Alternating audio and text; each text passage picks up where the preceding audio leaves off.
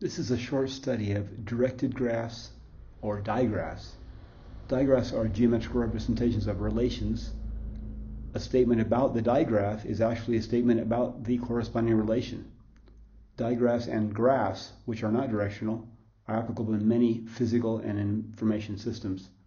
They can model flight and traffic patterns, circuits, networks, and much more. Digraphs consist of vertices or nodes that are connected by edges. The edges may be assigned weights or distances, and if not, the edges are considered to have the weight of 1. The edges of a digraph have direction, or in the case of a graph, the edges are not directional. Nodes are plotted in a variety of layouts, or the xy coordinates of a dataset can be used as input in forming the graph object. Often we deal with subgraphs, which is a limited set of the total number of nodes in a digraph.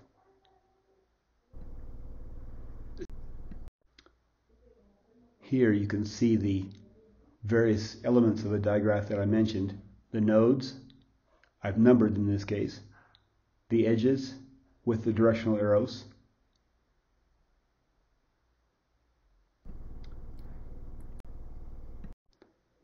Digraphs can be implemented in MATLAB using the digraph function or by using the gplot function. A digraph object produces a graph with vertices and edges that can be labeled and which have arrows showing the edge directions. If you use the xy coordinates as one of the inputs, then the digraph resulting resembles the plot of the original data set. Digraphs can be implemented this is the graph we previously looked at using the layout called circle. The gplot function is another function that can be used in MATLAB for plotting graphs. gplot takes an adjacency matrix which shows the connections between the nodes as an input. The adjacency matrix is an n by n matrix, and the xy coordinates matrix an n by 2 matrix can be a second input. When that is used, the graph plots the xy coordinates where they are located in the data set. The gplot function is another function that can be used in MATLAB for plotting graphs. gplot takes an adjacency matrix which shows the connections between the only problem with the gplot function is that it's hard to adjust the line widths, and sometimes it's not too clear a plotting.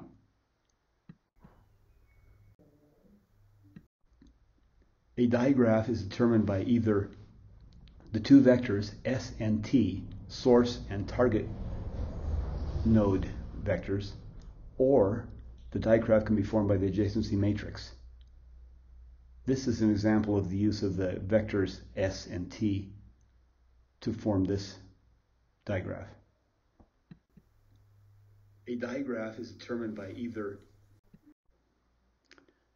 you can see that the digraph and the graph functions allow for modifying the marker size, labeling the vertices or nodes, and controlling the size of the labeling and the edge colors can also be modified.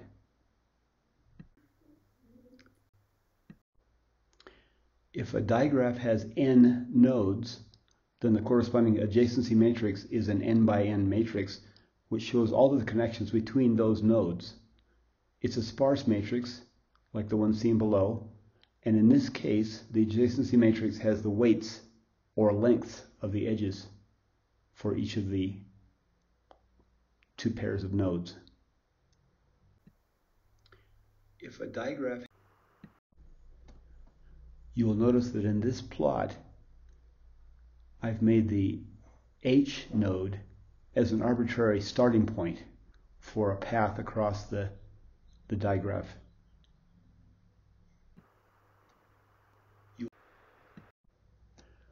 Let's say we want to know the distance from that point H on the digraph and with some other node on that same graph. For example, here in this, I'm querying the object for the shortest path between H and the node D. I use the function shortest path with its inputs and get the shortest node sequence as well as the distance between that sequence of nodes using the format P D as a set, uh, P being the uh, path, D being the distance between all of those in the sequence of nodes.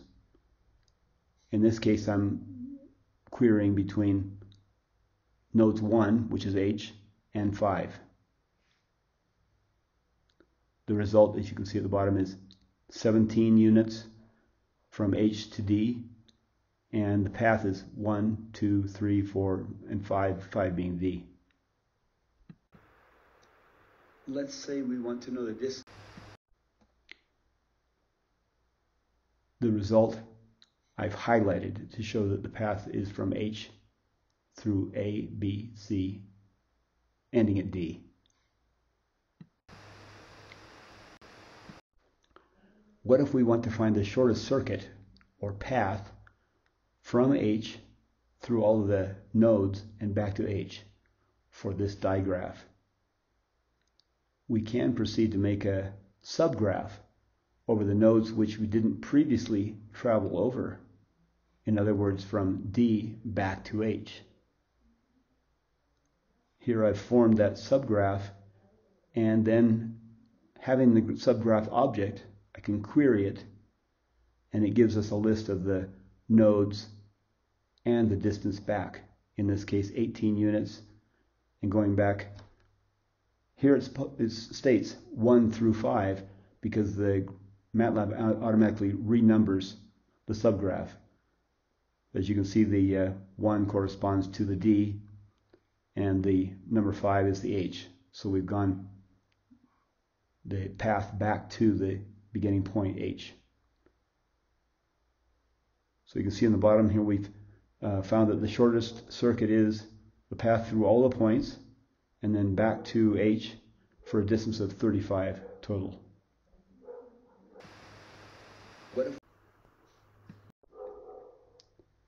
This is the subgraph that I mentioned from D returning to H.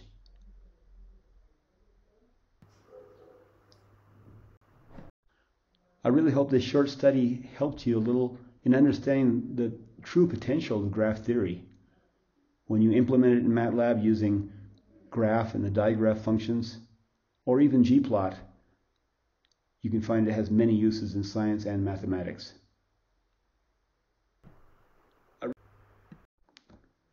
In parting, I just want to leave you with this one gplot graph of an 18 by 18 magic square which gives an idea of the symmetry in those wonderful mathematical objects. Hope you enjoyed it. Bye.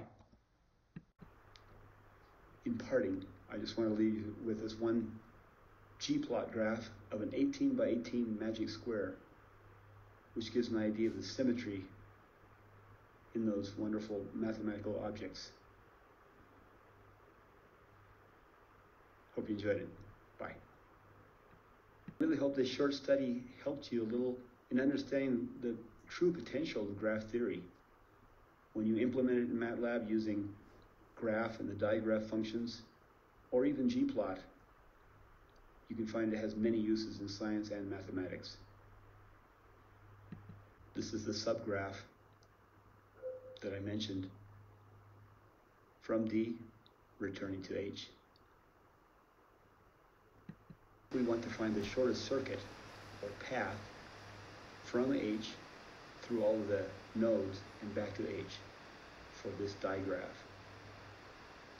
We can proceed to make a subgraph over the nodes which we didn't previously travel over.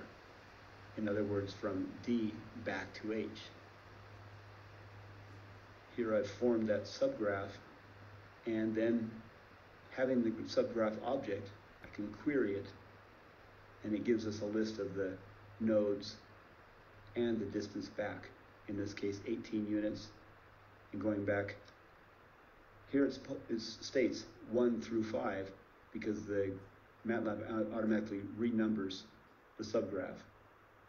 As you can see, the uh, 1 corresponds to the D, and the number 5 is the H. So we've gone the path back to the beginning point H. So you can see in the bottom here we've uh, found that the shortest circuit is the path through all the points and then back to H for a distance of 35 total. The result I've highlighted to show that the path is from H through A, B, C, ending at D. From that point H on the digraph and with some other node on that same graph. For example, here in this, I'm querying the object for the shortest path between H and the node D.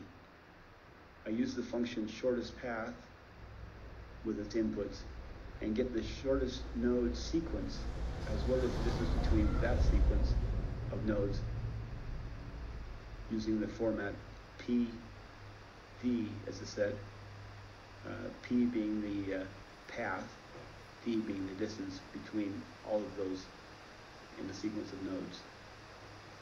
In this case, I'm querying between nodes 1, which is H, and 5. The result, as you can see at the bottom, is 17 units from H to D, and the path is 1, 2, 3, 4, and 5, 5 being D. You'll notice that in this plot, I've made the H node as an arbitrary starting point for a path across the, the digraph. Has n nodes, then the corresponding adjacency matrix is an n by n matrix, which shows all the connections between those nodes. It's a sparse matrix, like the one seen below, and in this case, the adjacency matrix has the weights or lengths of the edges for each of the two pairs of nodes.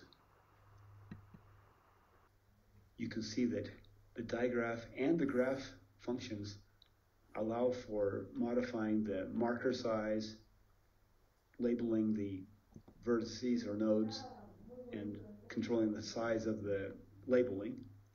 And the edge colors can also be modified. The two vectors S and T, source and target node vectors, or the digraph can be formed by the adjacency matrix. This is an example of the use of the vectors S and T to form this digraph. The only problem with the gplot function is that it's hard to adjust the line widths, and sometimes it's not too clear plotting the nodes as an input. The adjacency matrix is an n by n matrix, and the xy coordinates matrix, an n by 2 matrix, can be a second input. When that is used, the graph plots the xy coordinates where they are located in the data set.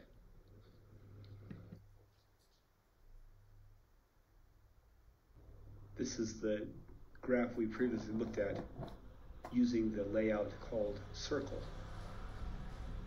In MATLAB, using the digraph function or by using the gplot function. A digraph object produces a graph with vertices and edges that can be labeled and which have arrows showing the edge directions. If you use the xy coordinates as one of the inputs, then the digraph resulting resembles the plot of the original data set here you can see the various elements of the digraph that I mentioned. The nodes, I've numbered in this case, the edges with the directional arrows.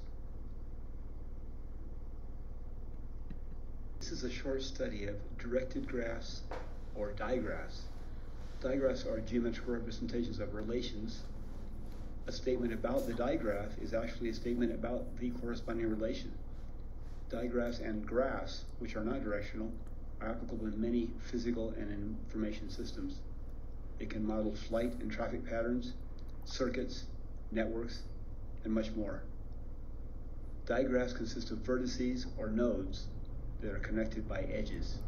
The edges may be assigned weights or distances, and if not, the edges are considered to have the weight of 1. The edges of a digraph have direction, or in the case of a graph, the edges are not directional. Nodes are plotted in a variety of layouts, or the XY coordinates of a data set can be used as input in forming the graph object. Often we deal with subgraphs, which is a limited set of the total number of nodes in a digraph.